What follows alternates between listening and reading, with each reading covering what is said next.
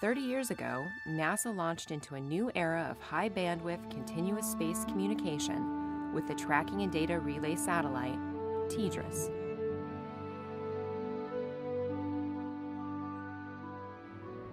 Today, NASA is continuing this legacy by launching the first of the next generation of satellites, TDRS-K.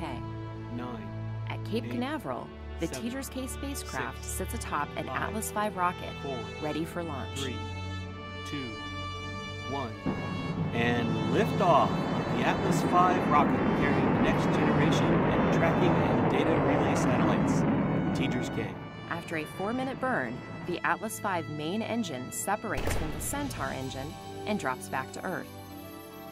Shortly after separation of the main engine, the protective shield that covers the payload, called the fairing, separates to reveal the TDRS-K spacecraft.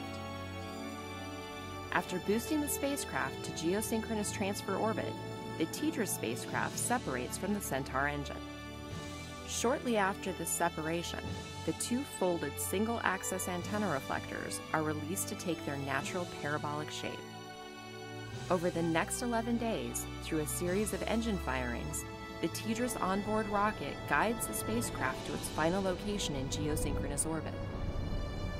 Once arriving at this orbit, the spacecraft starts its deployment sequence by unfolding the first solar array. Next, the two single axis antennas are deployed and locked into position. These antennas are designed to track and communicate with low Earth orbit satellites. After the single axis antennas are secured into place, the second solar array starts to unfold. And the SGL and Omni antennas are deployed. Once TDRS-K completes this deployment sequence, it's now ready for a three month period of testing and calibration before being placed into service. With this addition of TDRS-K and the upcoming launches of TDRS-L and M, NASA has assured the future of continuous space to ground communication.